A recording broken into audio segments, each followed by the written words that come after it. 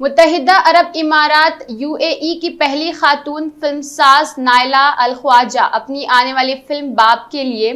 Oscar award याफ्ता हिंदुस्तानी composer A R Rahman से जुड़ रही है ए आर रहमान ने कहा कि मुझे नायला के साथ उनके फीचर फिल्म बाप पर काम करते हुए खुशी है वो खलीज के खत्े की उभरती फिल्मसाज और एक अहम तख्लीकी आवाज़ है नायला अलख्वाजा और मसूद अमरुल्ला अली ने फिल्म की स्क्रिप्ट लिखी है नायला अलख्वाजा अपनी मुख्तर फिल्मों बशमूल मलाल और दी रोड तोफिल पर काम कर रही है और ए आर रहमान ने हाल ही में एक्सपो 2020 दुबई के एक हिस्से के तौर पर फिरदौस स्टूडियो कायम किया है